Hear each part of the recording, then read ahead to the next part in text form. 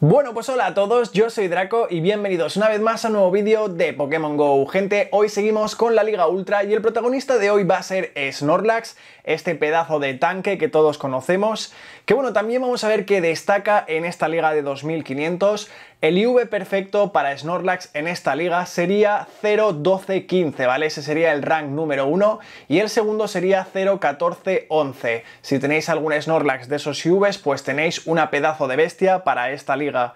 Vale, en Liga Ultra se lleva con lengüetazo de ataque rápido, golpe cuerpo, sí o sí tiene que tener golpe cuerpo. Y luego ya el tercer movimiento, ¿vale? El segundo cargado, yo lo llevo con terremoto, ya que viene muy bien contra Registeel, contra Typhlosion, contra Escaval contra muchos Pokémon en general, ¿vale? Contra Giratina también, ya que no le vamos a hacer golpe cuerpo, sería poco eficaz. Y bueno, hay mucha gente que prefiere cambiarle terremoto por enfado, que también es muy buena opción si queréis encerrar a Giratina. También lo podéis llevar con fuerza bruta, aunque fuerza bruta ya sabéis que os va a bajar los stats y es un poco arriesgado. Así que nada, una vez habiendo dicho todo esto, vamos a ver a Snorlax en Liga Ultra. Vale, pues empecemos a ver las batallas. Esto va a ser un set de 5 combates seguidos. Y el equipo está formado, como veis, sin legendarios. Tenemos Escavalier de Elite. Luego tenemos a, este Snorlax, ¿no? El protagonista del vídeo, que lo vamos a ver como un safe switch, un cambio seguro. Y por último tenemos un Lapras, que es un gran Pokémon en Liga Ultra también. Aquí ya le he sacado un escudo a este Cresselia, ¿vale? Y a lo mejor debería haber cambiado ya pero bueno, digo, vamos a ver si podemos sacarle el segundo escudo. Y vamos con otro megacuerno. Aquí ha cargado antes Cresselia, ya que Fuerza Lunar carga súper rápido. Vale, nos baja el ataque, esto no mola tanto, ¿vale? Pero bueno, ya habíamos apretado el megacuerno, así que le vamos a hacer un gran daño, pero utiliza el segundo escudo, interesante. Como él ya ha cambiado, va a tener que esperar un poco más para volver a cambiar, pero bueno, ya ha pasado el tiempo, hemos tardado bastante, no pasa nada, vamos a ver Snorlax, Snorlax con terremoto, por esto lo llevo con terremoto, vamos a ver si entra, claro que entra, porque al rival ya no le quedan escudos, ese Perseker se ha ido directamente al cementerio. Y le queda eh, Cresselia que hemos visto al principio y también le queda este Swampert, vamos a ver cómo se desenvuelve este combate. Como veis, Snorlax ya sabéis que es un gran tanque, aguanta muchísimo y golpe cuerpo parece que no, pero va haciendo un daño neutro bastante importante, ¿eh? ya que carga muy rápido. Vamos a ver si resiste otro hidrocañón. Sí, resiste otro hidrocañón y nos va a dar tiempo a otro golpe cuerpo. Es increíble, es increíble este Pokémon. Terremoto sorprende bastante, hay que jugar un poco con los baiteos, pero cuando no tiene escudos el rival y tiene algo de acero, es increíble, es increíble. Vale, eh, nos vuelve a sacar a Cresselia. Vamos a hacerle un golpe cuerpo antes de morir y cambiamos rápidamente, cambiamos rápidamente. Nos queda a nosotros un escudo y aquí no sé si decido utilizarlo o no. Vale, decido no utilizarlo y vamos a ver, no nos ha bajado el ataque, pero ya tiene otro, otro fuerza lunar. Madre mía, chicos, ya tiene otro fuerza lunar. Pero nos hace hierbalazo, madre mía, la liga de los baiteos. La liga de los baiteos estamos viendo aquí, no pasa nada, aquí sí que decido escudar porque sé que llegaba el megacuerno y será suficiente para derrotarlo. Y nada, con un par de básicos, sí, nos destruimos a la vez, pero nosotros teníamos dos Pokémon en la recámara. GG, muy bien jugado. Vamos con el siguiente combate. Vamos a ver, Escavalier contra Registeel. Eh, aquí tengo que decir que tuve bastante suerte con los leads, ya que al menos los dos primeros combates partimos con ventaja. Me extraña que no cambie el rival, así que voy directamente con taladradora, que además entra, mirar eso, con básicos y taladradora le hemos quitado muchísima vida a ese Registeel. Yo decido escudar, vale, era una onda certera, no nos hubiese matado, pero nos hubiese dejado con muy poca vida, ¿eh? Y aquí me lo quiero farmear, me lo quiero farmear y nos lo farmeamos. Vale, vamos a ver qué más Pokémon tiene. Vale, tiene a Giratina. Yo saco a Snorlax como buen safe switch. Y el rival aquí no sabe qué hacer, no sabe qué hacer. Lo único malo, ¿vale? Ya no se ven tantos Snorlax porque Giratina ahora se juega más con Dragoliento. Cuando se jugaba con em, Garra Umbría, Snorlax era muy buen counter porque Garra Umbría no le hacía nada a Snorlax. Sin embargo, Dragoliento, como veis, sí que le va bajando bastante vida. Aquí intento baitear, intento baitear porque esto es algo que hay que hacer, ¿no? Que el rival piense que viene un terremoto, pero no. Era un golpe cuerpo y aquí no nos da tiempo por nada a hacer terremoto, una pena casi nos da tiempo. Estuve a punto de escudar, pero digo, venga, va, no pasa nada, sacamos a Lapras, que lo llevo con Canto Helado, Surf y Rayo Hielo. Recordad que Canto Helado y Rayo Hielo son dos movimientos Legacies que podía aprender en su Raid Day y también cuando estaba de recompensa semanal. Vale, le hacemos el rayo hielo, que como veis tiene un gran daño y esto voy a hacer un sur, ¿vale? Porque sé que se va a escudar, sé que se va a escudar, le queda un escudito y vamos a baiteárselo, ¿vale? Se lo baiteamos, pero no pasa nada porque tenemos el Escavalier con mucha energía preparada para lanzar directamente esta taladradora que va a finiquitar a su Clefable y aquí ya esto está bastante ganado, además nos queda un escudito Vamos a ver, creo que no me lo debilita, no, no me lo debilita ni de coña un Sombravil. De hecho le hace falta dos y vamos nosotros con un taladradora que si no lo debilita lo va a dejar muy tocado. Vamos a ver... Vale, lo deja muy tocado y con un par de básicos más acabamos de rematar la faena. GG, muy bien jugado. Vamos con el siguiente combate y creo que este es el único que pierdo de este set. Vale, aquí empezamos con Empoleon. Aquí tenemos algo de ventaja porque contraataque le hace mucho daño, el rival aquí cambia, yo estoy un poco lento, pero bueno, no pasa nada. Sacamos a nuestro Snorlax, que a básicos le estamos haciendo muchísimo daño, eso sí, él a nosotros también.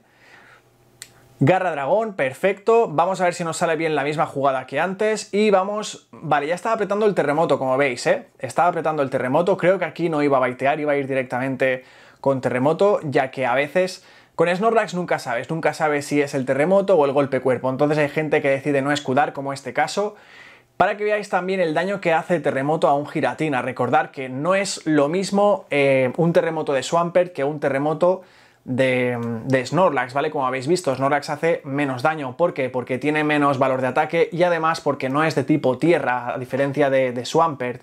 Entonces, por eso el terremoto de Swampert quita mucha más vida.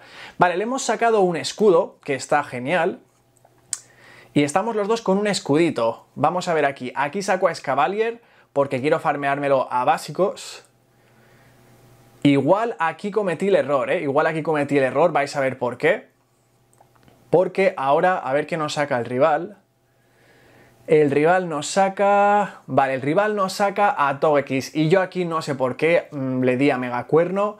Estaba nervioso y dije, venga, va Vamos a tirar la casa por la ventana, aquí cambio a Lapras, pero bueno, debería haberme guardado toda esa energía porque obviamente nuestro contrincante iba a cambiar, iba a cambiar y nos iba a sacar a Empoleon. Aquí estamos un poco encerrados ya que ni Rayo Hielo ni Surf le vamos a hacer nada de daño. Y digo, venga va, vamos a ir poco a poco con Canto Helado y Surf, que es poco eficaz, pero vamos a ir quitándole vida. Y aquí, momento clave. Digo, ¿será hidrocañón? ¿Será ventisca? ¿Será foco resplandor? Y me la jugué, era foco resplandor, chicos. Era foco resplandor. ¿Qué probabilidades había de ver a un Empoleon con foco resplandor? Ya que se juega normalmente con hidrocañón y con ventisca. Pero bueno, muy bien jugado por parte del rival. Aquí sacamos a Escavalier, pero yo aquí tenía toda esperanza perdida, ya que le queda un escudo. A básicos nos hace mucho daño, a pesar de no ser eficaz es Encanto y Encanto pega unas castañas que no son normales. Y bueno, le lanzamos ese taladradora que no le hubiese quitado mucha vida y nada, GG, muy bien jugado por parte del rival. Hemos cometido el error de cambiar cuando no debíamos, pero bueno, de todos los combates se aprende. Vamos con el siguiente combate, Escavalier contra Escavalier, un lead muy igualado. Aquí va a ser clave quien tenga prioridad. ¿Cómo sabemos esto? Pues lo sabremos, eh, vale, en este caso carga antes el rival. ¿Por qué? Porque su Escavalier tiene más puntos de ataque que el mío. El mío tiene 10, a lo mejor el suyo tiene 11 o 12, ¿no? O 13, quién sabe. Pero tiene más valor de ataque. Vale, y me hace el cambio perfecto, ¿eh? Ojo, poca broma. Pero bueno, no pasa nada, sacamos a nuestro Lapras, ya que va a aguantar muy bien Hidrocañón, al ser de tipo agua y tipo hielo. Eso sí, Terremoto nos seguirá haciendo un gran daño, ¿eh? Aquí no sé, no escudo, ¿no? No escudo, no escudo. Y un terremoto, como veis, le quita media vida a Lapras. Lapras es un Pokémon muy tanque también, ¿eh? Engaña bastante. Y digo, venga, va, esto es un hidrocañón. Un hidrocañón, como veis, no nos quita mucha vida. Y creo que me lo quería farmear. Sí, me lo farmeo. Me lo farmeo finalmente. Vamos por detrás en escudos, ¿eh? Y nos saca un Lapras. El rival nos saca un Lapras. Este contrincante tenía, tenía todos los counters ¿eh? de nuestro equipo. Vale, no pasa nada, no pasa nada chicos, vamos ahora con taladradora, ahora el rival me imagino que sí que va a tener que utilizar su primer escudo, perfecto, utiliza el primer escudo, y yo aquí tenía un plan, digo venga va, voy a escudar porque quiero debilitar eh, todo lo que pueda ese Escavalier. Sé que no voy a ganar, sé que no voy a ganar sabiendo que le queda un escudo, pero por lo menos voy a hacer que gaste todos los escudos y que probablemente gaste su energía. Y aquí me sorprendió porque no escudó, el rival no escudó. Y dije, vale, y además nos da tiempo a un taladradora. Escavalier es un Pokémon increíble, ya lo sabéis, hicimos un vídeo sobre él. Vale, le queda Lapras y a nosotros nos queda el Snorlax con toda la vida. Aquí, obviamente, esto ya pinta muy bien a nuestro favor, ya que mirar lo que nos quita Surf, nos quita muy poca vida. Eso sí, tiene mucha energía, ¿eh? Tiene mucha energía ese Lapras. Se puede permitir hacernos dos Surf seguidos. Y ya nos ha quitado media vida. Pero bueno, vamos nosotros con golpe cuerpo ya que creo que me va a dar tiempo a dos golpe cuerpo y en este caso le vamos a quitar más vida que con un terremoto. Y aquí como veis quería hacer el cambio perfecto, no me salió, pero no pasa nada, no pasa nada. Creo que me da tiempo a hacer un golpe cuerpo, sí, me da tiempo a hacer golpe cuerpo y creo que lo vamos a derrotar, ¿no? Con este golpe cuerpo. Sí, lo derrotamos chicos, GG, muy bien jugado. Y vamos ahora con la que creo que es la última batalla, el quinto combate de este set. Escavalier contra Creselia.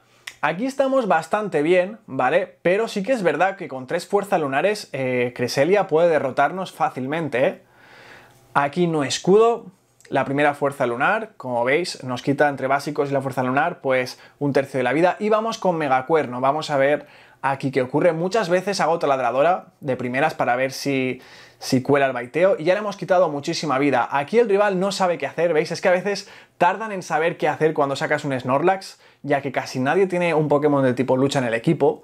Y lo que suele pasar a veces es que si tienen un Registeel te encierren con el Registeel, pero para eso tenemos el Terremoto. Pero bueno, en este caso nos han encerrado con un Clefable que no sé yo si es la mejor opción, ya que mirar eso, con golpes cuerpo le estamos quitando muchísima vida y nos da tiempo a 3 golpe cuerpo antes de que él nos haga un ataque cargado. Vale, aquí lo hemos obligado a utilizar un escudo y no sé si voy a escudar, no sé si voy a escudar. Vale, no escudo, pero bueno, no pasa nada. Creo que ahora voy a sacar a Scavalier o a Lapras. No, sacamos a Lapras, sacamos a Lapras. Con un básico matamos a Clefable y le queda Charizard, le queda Charizard en la recámara esto es una de cal y una de arena. ¿Por qué os digo esto? Porque Charizard tiene anillo ignio que nos hace un gran daño y nosotros tenemos Surf que cargamos antes que él. Entonces la cosa está muy igualada. Aquí obviamente sé que tengo que escudar y el rival me cambia. Me cambia a Creselia. Aquí escudo, Vale, era fuerza lunar, nos baja el ataque, no pasa nada, voy a farmear un poco de energía extra y como veis estaba a punto ya de cambiar, pero no me ha dado tiempo, aunque casi lo prefiero, ¿eh? casi lo prefiero porque voy a sacar ahora a Escavalier. Tengo casi dos surfs preparados con, con mi Lapras, ¿vale? Y aquí digo, venga, va, este Escavalier ya está GG, ya que todos los Charizard o casi todos los que me he encontrado se juegan con eh, giro fuego de ataque básico y este no lo tiene, este Charizard creo que tiene tajo aéreo, el básico de tipo volador, y me sorprende porque mirar eso, eh, esto es increíble, un Escavalier ganándole el, match a un Charizard. Yo creo que nunca había visto esto, ¿vale? Nunca había visto eso. Pero bueno, al final nos gana con un básico, no pasa nada, tenemos el surf, así que vamos directamente con surf. Con un básico lo hubiese podido matar, pero no me la jugaba, que tenía mucha energía. GG, nos llevamos esta quinta victoria. Y bueno, como estaréis viendo, eh, en este set 4 de 5, que no está nada mal, hubiese sido un set perfecto si no hubiésemos cometido los errores en esa batalla, pero bueno, 4 de 5 también está súper bien. Y nada, gente, si os ha gustado el vídeo, como digo siempre, machacar el botón de like como si no hubiese un mañana. Espero que os haya gustado este vídeo sin legendarios. Dejad en los comentarios lo que os dé la gana y suscribiros si aún no lo estáis para estar atentos a todos mis vídeos, trucos y noticias de Pokémon GO. ¡Hasta pronto! Catch 'em all.